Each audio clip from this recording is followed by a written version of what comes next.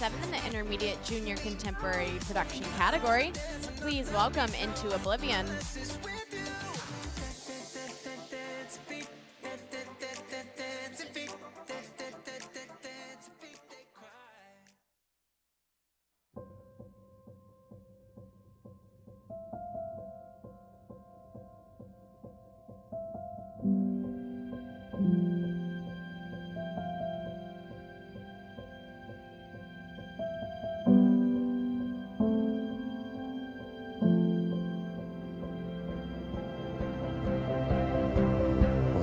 That I see? I think it's wild. What's the fear of God in me?